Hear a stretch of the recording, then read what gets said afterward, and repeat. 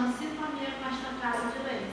Desejamos aos senhores vereadores e vereadoras um bom trabalho em suas atividades parlamentares. Invoquemos ao Espírito Santo que lhes conceda os dons da sabedoria e do entendimento, para que possam fazer o certo, o justo e o melhor pelos munícipes. Rezemos a oração universal que o Senhor nos ensinou. Pai nosso que estais nos céus, santificado seja o vosso nome. Venha a nós o vosso reino. Seja feita a vossa vontade, assim na terra como no céu. O pão nosso de cada dia nos dai hoje. Perdoai as nossas ofensas, assim como nós perdoamos a quem nos tem ofendido. Não nos deixeis cair em tentação, mas livrai-nos do mal. Amém. Glória ao Pai, ao Filho e ao Espírito Santo. Palavra de Deus é o caminho que nos conduz à salvação. Possamos com atenção a leitura do livro do Eclesiástico, capítulo 3, versos de 26 a 31, que será proferida pelo servidor Renato.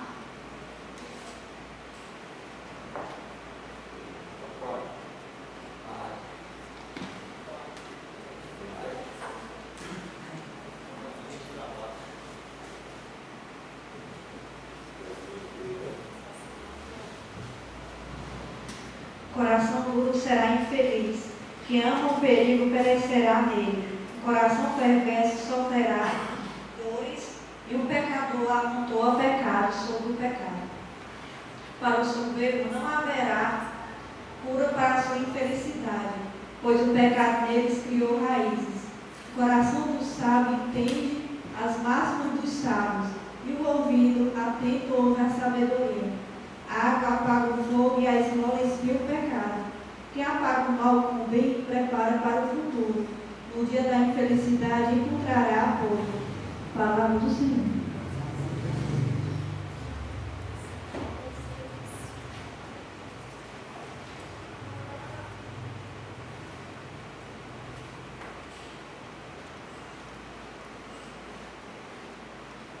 Anuncio a todos os presentes que neste momento estamos de senhor presidente para a abertura dos trabalhos.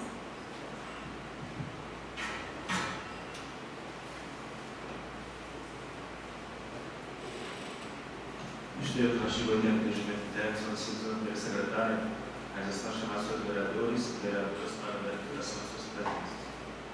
Francisco José Cordeiro, João Batista Viana, Socorro Ostérgio Neves, Francisco Roberto Vasconcelos, Antônio Ademar Alencar Neto, Antônio Glaucio Ostérgio Rio, Antônio Arivaldo Fonteles, Edilson dos Santos Vasconcelos, Edilson Leocádio Sampaio, José Silvano Teófilo Rocha e Maria Luana Marques. Boa tarde, senhores vereadores, senhoras vereadoras. Ah, o presente, internautas, a proteção de Deus, declara aberta a presente sessão. Eu sou a secretária para fazer a leitura eh, da, da sessão anterior. Na ata da 39 sessão ordinária da 4 sessão legislativa da Câmara Municipal de Marcos Ceará. Aos 28 dias do mês de novembro do ano de 2016, às 17 horas, no plenário geral do Vasco Fernando Rio Sem realizou-se a 39 sessão ordinária da quarta sessão legislativa sob a presidência do senhor vice-presidente João Batista Viana, secretariada pela senhora primeira secretária Socorro Neves. Em virtude de o senhor presidente, embora presente, a sessão ter sido encontrada sem condição de presidir, tendo passado a direção dos trabalhos para o senhor vereador vice-presidente. Chegada a hora regimental, excelentíssimo senhor presidente, no exercício dos trabalhos, autorizou a senhora primeira secretária a fazer a chamada dos senhores vereadores. E tiveram presentes os seguintes vereadores: Francisco José Cordeiro, presidente, Batista Piano, vice-presidente, Socorro Neves, primeira secretária, Francisco Roberto Vasconcelos, segundo secretário, Antônio Ademar Alencar Neto, Antônio Hélio Paulo Fonteles, Antônio Externo Rios, Edilson dos Santos Vasconcelos, Edilson Leocádio Sampaio e José Silvano Teófilo Rocha. Esteve ausente a senhora vereadora Maria Luana Marques. Contamos também com a participação de alguns munícipes, constatado o regimental, excelente senhor presidente, abre a sessão invocando a proteção e a bênçãos de Deus sobre os trabalhos desta Casa Legislativa. Em seguida, solicitou da senhora primeira secretária que proferisse a leitura da ata da sessão anterior e, após vida feita a verificação de coro, constatada a presença da maioria absoluta dos membros da Câmara foi submetida pelo excelentíssimo senhor presidente à discussão e votação do plenário, sendo aprovada e assinada pelo excelentíssimo senhor presidente e pela senhora primeira secretária. Sentenciando o excelentíssimo senhor presidente, verificando a inexistência de matéria e correspondência a ser lidas no pequeno expediente e no seu grande expediente. Convocando os vereadores por ordem de chegada para uso da palavra na tribuna, conforme determina o artigo 86 do regime interno. Senhora vereadora Socorro Neves usou da palavra a fim de parabenizar o distrito de Conakry pela recente nomeação à paróquia pela Diocese de Sobral no dia 27 do corrente, onde teria estado presente várias autoridades eclesiásticas da Diocese e personalidades do município, como o bispo Dom José Vasconcelos, padre do município de Sobral de Santana do Acaraú, o padre Monsenhor Romulo Rocha, da paróquia de São Manuel de Mar, o vigário da futura paróquia de Caiçária, deputado Manuel Dutra da Silveira Neto, prefeito eleito Roger Neves Aguiar, vereadores Roberto Vasconcelos, Ministro Leocádio e Socorro Rosteiro, deputado Rogério Aguiar, empresário e comerciante do município, o fiel das paróquias de São Manuel de Mar e de Senador Sá. Assina a pessoa do vereador Roberto Vasconcelos, estendeu toda a comunidade católica de Panacuê visivas congratulações pelos serviços pastorais que, de forma mais ativa, passariam a receber todos os paroquianos, que lhe proporcionaria melhores nas formações religiosas civilizares da comunidade. Excelentíssimo senhor presidente, em exercício da Batista Viana, parabenizar a comunidade de Panacuí, na pessoa do vereador Roberto Vasconcelos, pelo recebimento da nomeação à paróquia do Distrito Panacuí. Anunciou na sua oportunidade que na referida data se iniciaria as festas religiosas da localidade baixa do meio, convidando assim a todos a se fazerem presentes. Sequenciando o excelentíssimo senhor presidente, observando a inexistência de matérias ser discutidas, colocaram no nome do dia, Agradecer a Deus pela sua proteção e ao povo presente aos seus vereadores por sua participação e convidou para a sessão ordinária realizada no 25 de dezembro de 2016 em horário regimental. Em seguida, declarou a da presente sessão para constar o suposto término do secretário, havia presenteado e após o vídeo aprovado, vai assinado domingo pelo excelentíssimo senhor presidente. Sala da sessão, em 28 de novembro de 2016, João Batista Viana, presidente em exercício. Socorro Sandra, primeira secretária.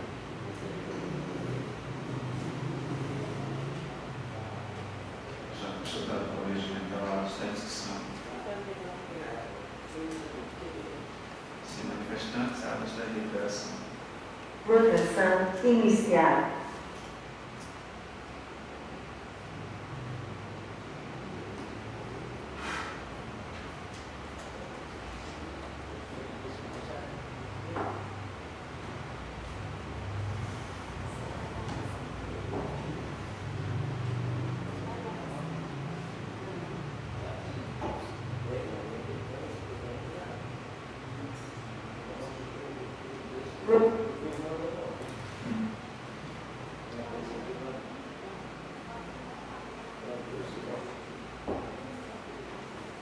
está aprovado por unanimidade.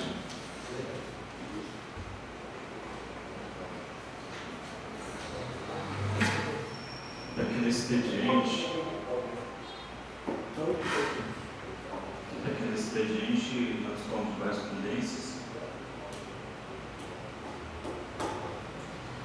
Eu queria saber a secretária é, dar conhecimento das, das proposituras sem discussão. Moção de aplauso no 03 2016. A excelentíssimo senhor Francisco José Cadeira, Ministro-presidente da Câmara Municipal de Marcos Ceará. A vereadora de Aécio Subsilério requer que seja encaminhada a matéria em epígrafe e a seguir discriminada Solicito que seja registrada em ata desta Casa Legislativa moção de aplauso pela recente nomeação à paróquia recebida pelo Distrito de Panacuí no dia 27 de, setembro de, no dia 27 de novembro de 2016.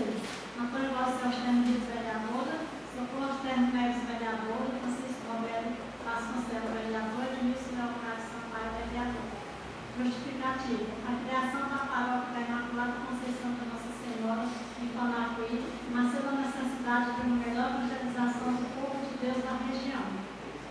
Decreto sem número do mês de novembro deste ano, assinado por Rui José Gomes de Vasconcelos, bispo da Diocese de Sobral, criou a paróquia da Imaculada Conceição de Nossa Senhora, desmembrando-a dos territórios da paróquia de São Manuel de Mar.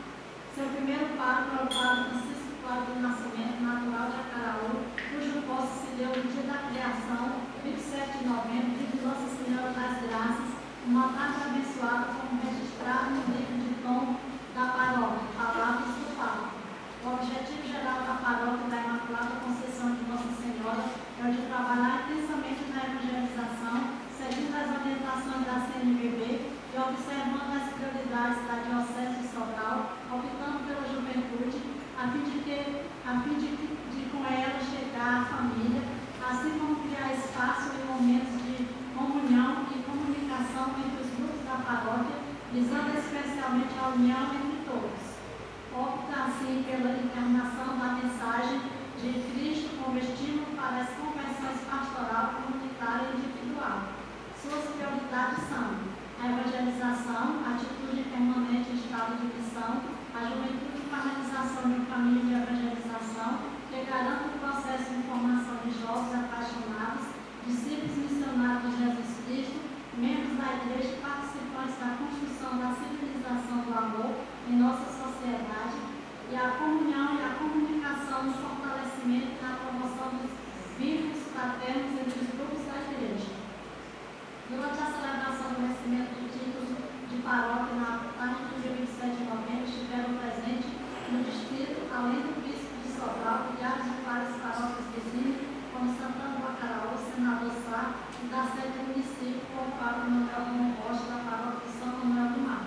Anacui pastorais que viessem a se desenvolver no local, tendo a oportunidade de articular melhores atividades e engajamento de sua população na evangelização por meio da Igreja Católica.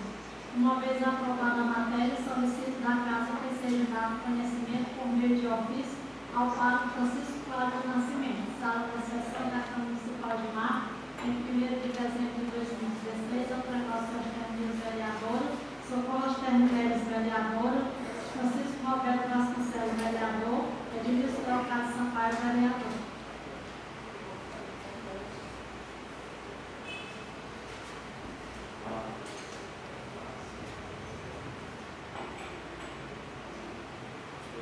Termos do artigo 132 da GNT, despacho de iguais número 03 a pauta do dias da sessão ordinária seguinte.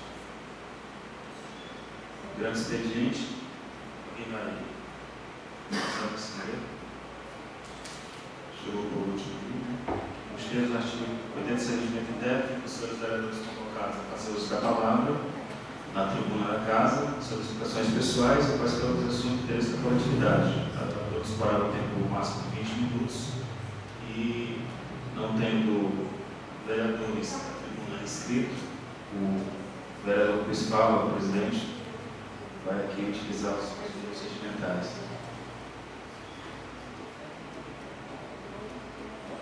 Eu. Obrigado, cara. Eu gostaria de saudar, primeiramente, a, os vereadores e depois os seus representados, né? População do mar. E dizer da, da,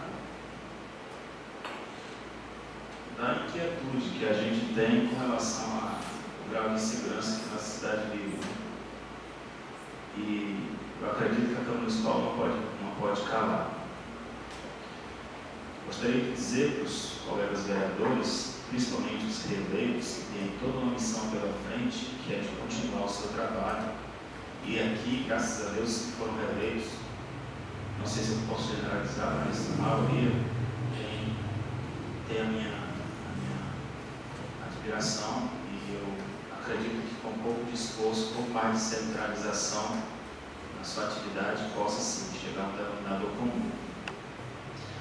Então, a vocês o desafio de acreditar que a abertura do concurso público e a realização do mesmo serve, senhores vereadores, principalmente os vereadores atuais da situação, serve para fechar, fechar uma certa responsabilidade para com o povo, responsabilidade essa entre o Poder Legislativo e o Executivo, da partir de janeiro de 2017, para fechar com o povo a responsabilidade de contratação da Guarda Municipal. São 14 membros, são. Deveria ser 40? Sim, deveria, conforme o projeto do. Mas, dentro das possibilidades, o governo municipal viabilizou a inclusão desses novos servidores e eles serão muito importantes. Vão precisar, primeiro, ser admitidos, até porque a lei por si só não dava o direito do prefeito simplesmente contratar guardas municipais, contratar é, profissionais dessa, dessa, dessa área. Então teria que ser uma abertura de concurso, como o concurso não estava é, determinando isso. Aliás, nem foi fora do prazo. O concurso foi realizado em 2010 e o outro depois da realização, depois de encaminhar o projeto de lei para a Casa Legislativa. Então tem todo aquele compromisso de fazer valer, pelo menos nessa área, a, a, a efetivação dos profissionais da Guarda Municipal. Isso vai ajudar? Vai. Vai ajudar? Vai.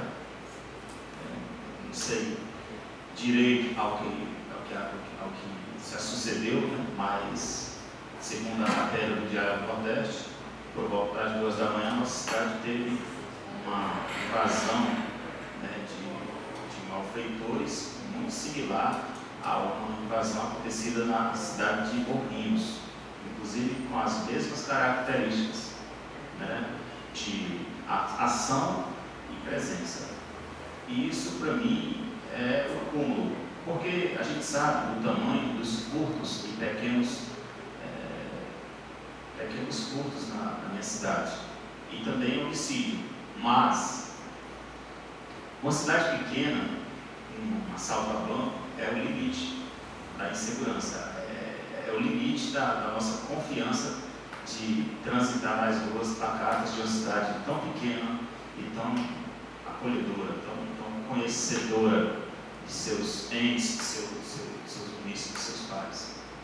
Então eu fiquei muito triste em ver aquela matéria e saber que a minha cidade agora não está tão segura quanto quando desta, deste acontecimento, e eu acredito que a solução Está um pouco difícil, mas o caminho mais, mais seguro é efetivar a Guarda Municipal e tanto a Câmara como o novo prefeito fazer de tudo para acolher aqui todo o esquema de planejamento.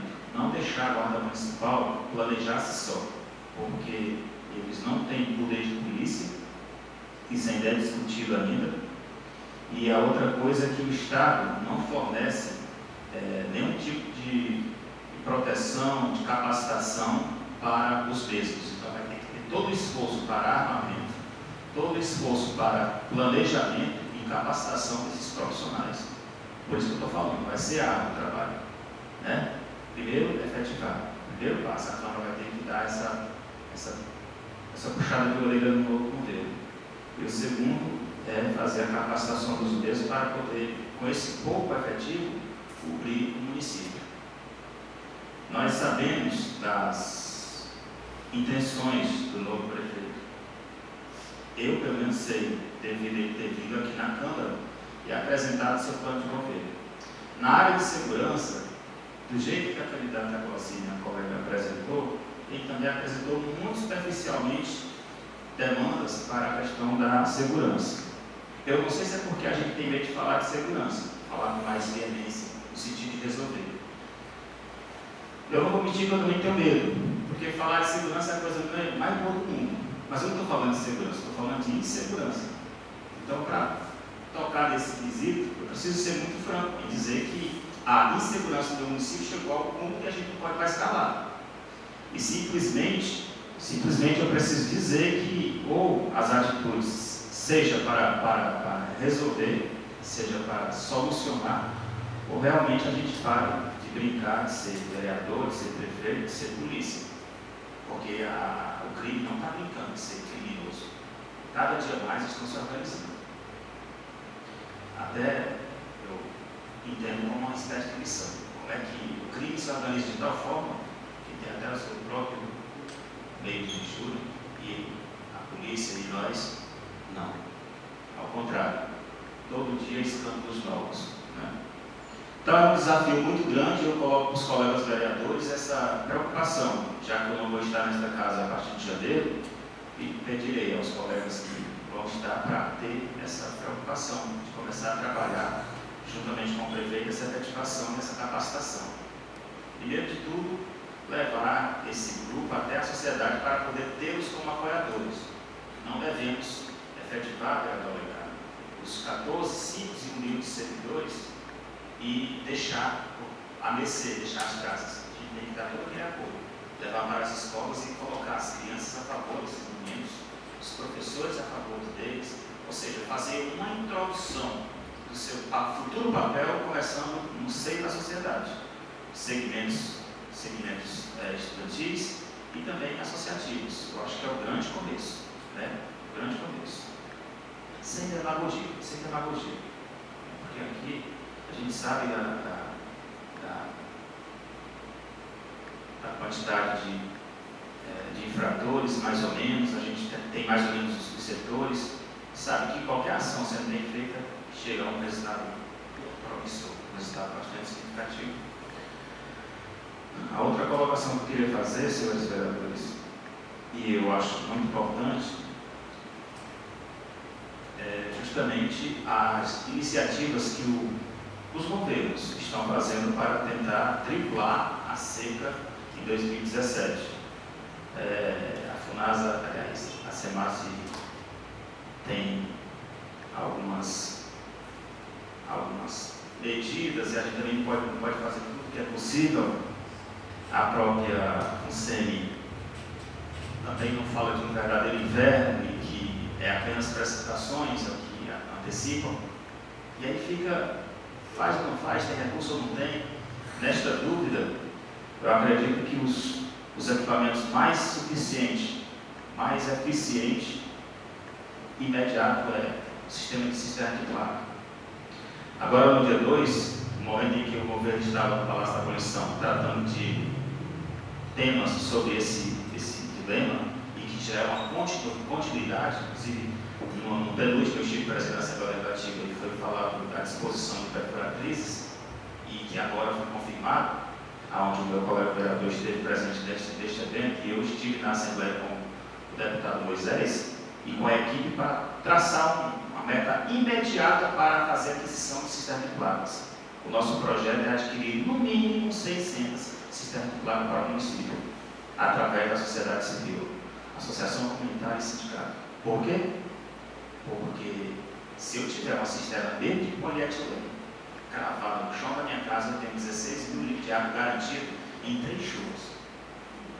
E se eu deixar ela só para o consumo humano, e se tiver em cada residência rural uma cisterna dessa, com certeza teremos uma garantia de no mínimo seis meses. Foi estudado e eu fiz a experiência na minha casa que tem a cisterna. Realmente, para uma família de seis pessoas, para comer e cozinhar, 16 mil de água sobra durante seis meses. Aí o que, é que a gente faz no rural? A gente se beneficia de rio, açude, cacimba. A gente não tem aquele negócio de passar uma hora no chuveiro, tem nem chuveiro. Então, como o banho é um baldinho de 12 litros, então o banho não é 12 litros, não é 60 litros, no caso do chuveiro. E a água é só para beber e para cozinhar. Ou seja, é um equipamento seguro para a captação da única água garantida, de certeza, que é a água causada pelas precipitações de chuvas. Né?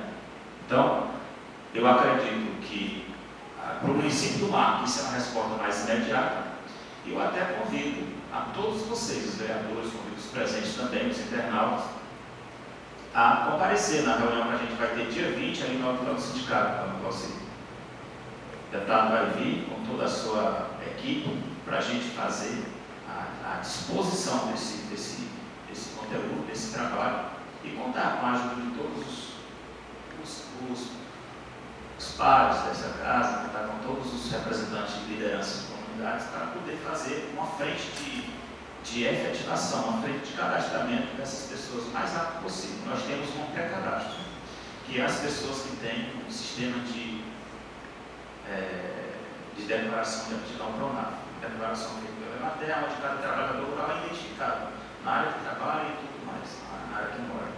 Isso já é um primeiro documento. Mas a intenção maior é desburocratizar esse negócio. Deixar todas as famílias do município é, supridas com esse bem. Um bem quase que significante para o. A cisterna é quase que significante. Eu vi da Cruz e Cruz é, muitas cisternas dessas. Então eu coloco para vocês o convite. Será dia 20, a partir das 9 horas da manhã, lá no sindicato, onde a equipe do deputado, que é, é, é membro da comissão, que trabalha com a questão agropecuária e agricultura familiar, estará trazendo essas soluções imediatas, não para propor, sim para organizar essa frente de ação para a aquisição de cisternas de polietileno para o município de Marco. E a gente precisa estar lá justamente para buscar essa, essa parceria no sentido de adquirir também para as nossas regiões é, esses equipamentos. Era isso que eu queria colocar para os colegas vereadores e também me congratular com a moção de aplauso da vereadora Glauci, que aponta aqui trabalho do Padre Cláudio, onde é, instituiu, em termos de paróquia, o município do, o distrito de Panacuí quase que tornou um município em termos, em termos de, de organização de clero, de religião, lá hoje está individualizado. Fica melhor para região e também tira uma certa carga do paro. Por exemplo, né, por exemplo o, a comunidade que tem santa, que tem a imagem, que tem a padroeira de Ascensão, é Panacuí dentro do mar, embaixo do meio. Então, como Panacuí é mais velho que o mar, Panacuí é mais estruturado, é claro, aí o paro tinha preferência pela comunidade e a Baixa ficava para depois. Esse ano é o primeiro ano que nós vamos ter missa exatamente no dia, da, dia 8, né, no dia do processo de sessão. Graças ao trabalho do Paulo Lavorado. Por sinal, vereador Roberto, estava olhando o seu, seu, seu Face e observando as fotos, as fotos do pessoal que, que trabalha com, com o conselho, a comunidade, e parabenizei naquela vez e quero é, é, retornar a minha, a minha congratulação com aquela comunidade devido grau de organização que eu percebi no dia da alvorada. A gente tinha realmente essa metodologia e eu achava que o nosso termo religioso tinha sido deflagrado por outros tipos, né, como a invasão nas outras igrejas, como a falta de credibilidade, como essa falta de presença, mas eu percebi que lá ainda está muito viva a fé do pessoal de Panacuí. Era isso que eu queria falar muito obrigado a todos. Na ordem do dia, nós não dispomos de matérias a serem discutidas e votadas, e não havendo mais matérias para serem lidas, discutidas e votadas, eu agradeço a Deus pela sua proteção, senhores vereadores, internautas, público presente, e convoco é, todos para a sessão ordinária realizada no dia 12 de dezembro de 2016, em horário regimental, no plenário geral, Barros Hostel. Sim, declaro encerrada a presente sessão.